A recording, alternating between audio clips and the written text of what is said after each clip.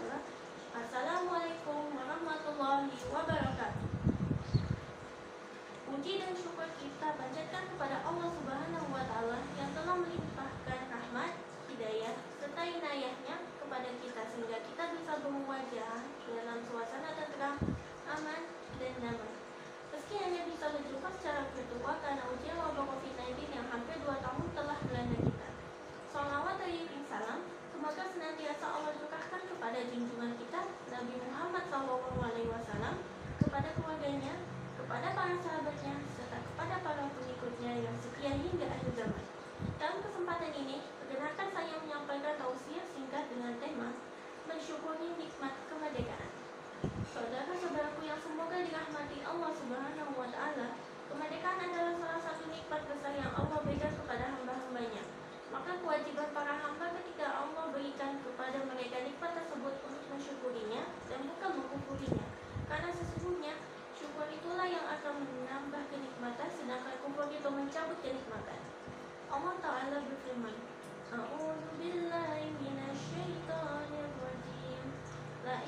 Thank you.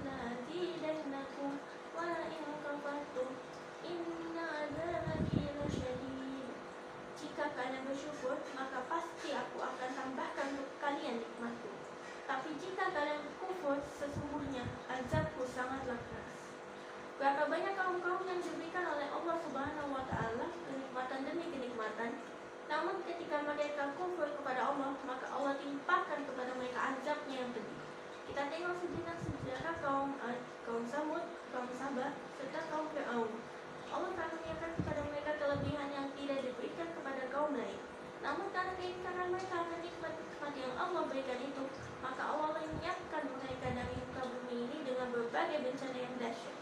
Kaum Fir'aun misalnya? Diberikan oleh Allah kenikmatan yang banyak Allah Ta'ala berfirman tentang kaum Fir'aun. A'udhu billahi Kam taraku Berapa banyak kebun-kebun dan mata air-mata air yang mereka telah tinggalkan? Wa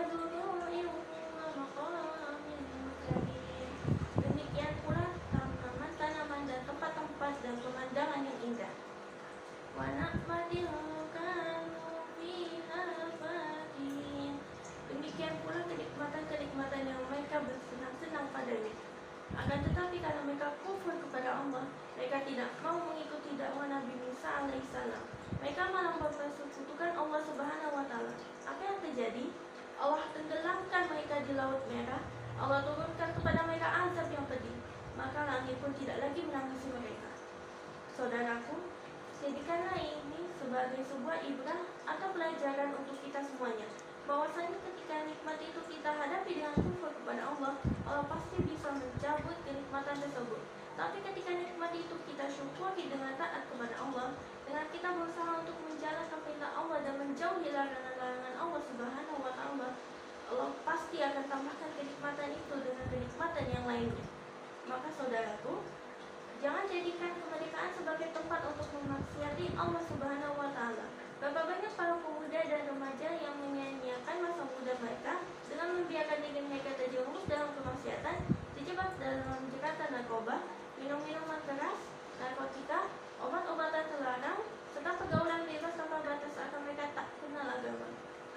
ini tentu sungguh imamis dan memprihatinkan bagi kita, seperti yang diisyaratkan Rasulullah SAW dalam sebuah hadis. kunanna min ummati aqwamun yastahiluna al-hira wal harira wal khamra wal mu'azif kaum dari umatku mereka akan menganggap halal zina, sutra, arak dan alat-alat. Hadis riwayat Bukhari dalam sahihnya. Saudara-saudaraku yang semoga dirahmati Allah, kita bersyukur dengan nikmat kemerdekaan ini. Maka kita syukuri dengan cara kita menaati perintah-perintah Allah, kita jaga sholat kita, kita makmurkan masjid-masjid Allah Subhanahu wa taala dengan cara kita menaati Rasulullah, kita pelajari hadis-hadis Rasulullah Shallallahu Alaihi Wasallam, kita amalkan dalam kehidupan kita. Bagi kita sebagai seorang pelajar, hendaklah kita syukuri nikmat kemerdekaan ini dengan tekun menimba ilmu, guna mempersiapkan diri memasuki era globalisasi, digitalisasi yang mau tidak mau kita akan terlibat di dalamnya. Kita berusaha untuk mensyukuri nikmat Allah Subhanahu Wa Taala dengan lisan kita, dengan perbuatan kita, dan dengan hati kita. Hati kita mengakui bahwa kemerdekaan itu semuanya dari Allah. Yang memberikannya. Bisa kita pun menyatakan syukur kepada Allah. Kita puji Allah atas nikmat yang Allah berikan kepada kita. Dan anggota badan kita pun kita gunakan untuk mengisi kemerdekaan ini dengan betul-betul menjalankan perintah Allah dan menjauhi larangannya. Ketika kita tidak lakukan itu, ketika kita malah berpaling dari perintah Allah, ketika kita malah lebih senang memaksiati Allah, jangan salahkan apabila Allah kembali menjauh kemerdekaan itu. Allah akan mampu dan sangat mampu untuk menimpakan kepada hamba-hambanya azab yang pedih. Itu yang kita khawatirkan saudara. Oleh karena itulah saudara-saudaraku sekalian, janganlah menghadapi nikmat yang besar ini dengan cara kufur kepada Allah. Dengan cara memaksiati Allah, kita gembira dengan pemberian nikmat. Tapi gembira itu adalah dengan bersyukur kepada Allah dengan menaati Allah.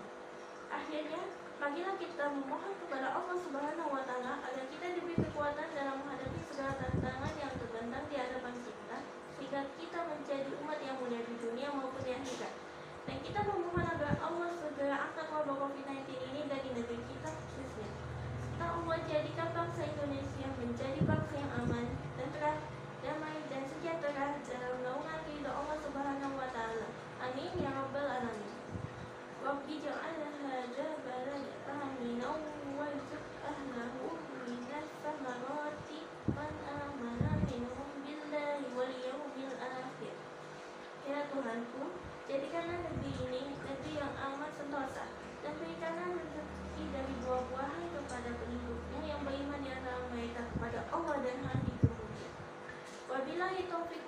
والحمد لله رب العالمين والسلام عليكم ورحمة الله وبركاته.